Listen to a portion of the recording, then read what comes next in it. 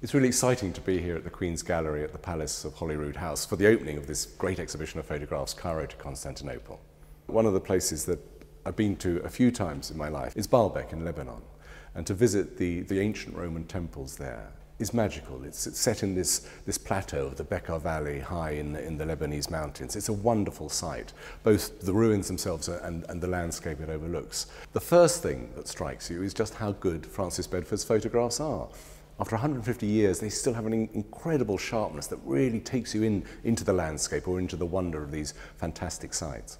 Places like Luxor in Egypt and the temples at Karnak I've been to see and, and to see how Bedford captured the scale and, uh, and the aw awesomeness of these locations is, is, is fabulous. I think the public will be fascinated by these photographs, A, because they're so good, because so many people nowadays will have had the chance to visit some of the sites. Of course, the British public hadn't had the chance to do that 150 years ago, but many modern travellers will have visited these places on their holidays, the, the pyramids, Jerusalem, etc. But I think it's great now that they've come out uh, of the Royal Archives to be displayed again so that people can have that sense of context, both of, of the history of photography, but also of the history of the region and, indeed Britain's role in it.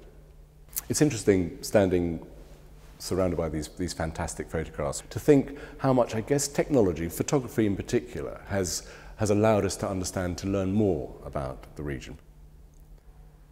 I'm working on a, a series for BBC Radio 4 which will see me following in the footsteps um, of the Prince.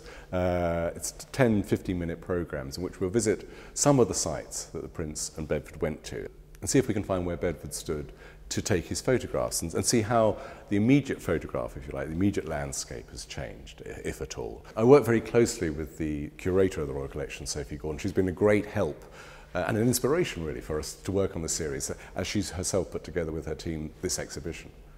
Following in the, in the Prince of Wales footsteps for the Radio 4 series has been fascinating. The things you pick up on, on a tour like this in this middle of nowhere village, it's, it's a real privilege and it's great fun to be doing it.